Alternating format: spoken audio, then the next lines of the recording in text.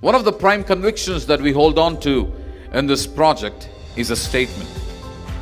It is a statement the world needs Jesus.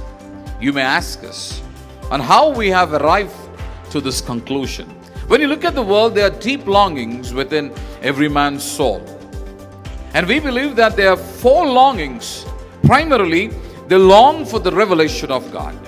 Though the language vary, though the expression vary, people wanted to know who is God and where is God.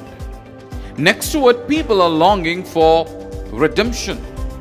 They knew that they live in a broken and a dark world and they wanted to be redeemed into light. They knew that they have chains around them and they want those chains to be broken. People are longing for redemption. And next to it, people wanted to be reconciled not just with people, but they wanted to be reconciled with their Maker. And lastly, people are longing for restoration. And in Jesus Christ, in the person and in the work of Jesus Christ, the revelation of God is fulfilled.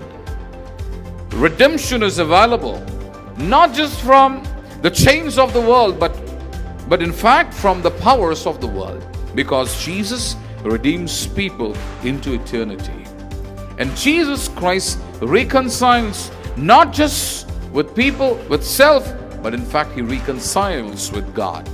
And it is Jesus Christ who restores every human being to their original state.